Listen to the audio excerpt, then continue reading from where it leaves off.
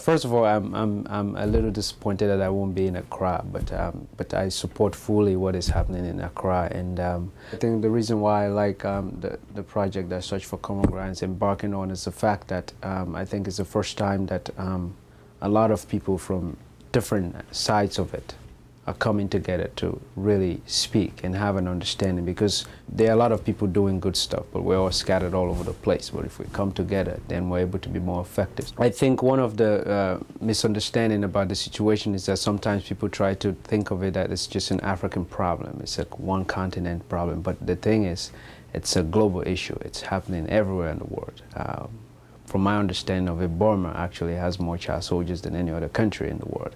Um, and also, it's not just countries that have wars going on that have the issue of child soldiering. We're trying to prevent people from, uh, you know, uh, participating in active combat uh, under the age of 18. So um, this happens everywhere, you know, even first world countries. So I think if we make the problem, we let people know that it's a global problem. It's not just specific to one continent, to one country, and that there's an importance in terms of, uh, you know, uh, preventing this from happening to children just because wars end in certain places doesn't mean that the issue itself ends. If there's a war going on next door neighbor, most children could go there again. So there's a series of things that continue.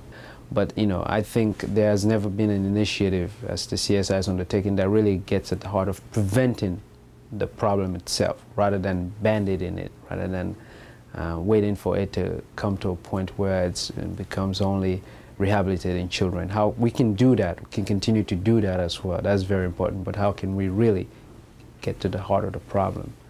Preventive measures, I think it's, it's what I'm speaking about here.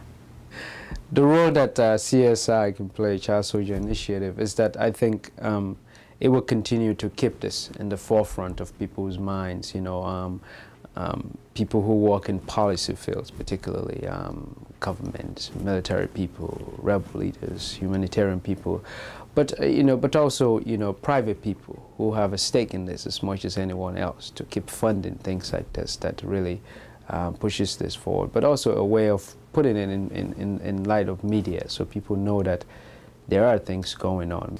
I think it's also important not only to, for the people that are involved to know uh, what uh, comes out of Accra, but also people who are not going to be in Accra to know. So I think, I hope also that there will be enough media attention focused on it so that the rest of the world also knows that there's, this initiative is, is going on, because I think it's important. I, I hope that um, by the end of it, there would have uh, come out of it um, a kind of set of strategic plans or a set of um, um understanding or, or um, um, a, a, dialogue would have happened that enabled people to understand what to do next, what practical things to do next.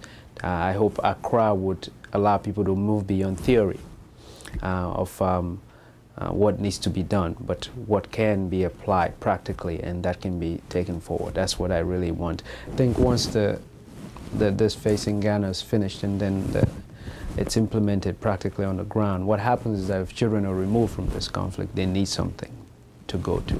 They need um, to feel their own self-worthiness again. They need to know that they can do something more with their lives, not just that. So I think that's why I come in and a lot of other organizations who do good work to basically give another option to these kids, you know, uh, that hasn't been available to them for so many years.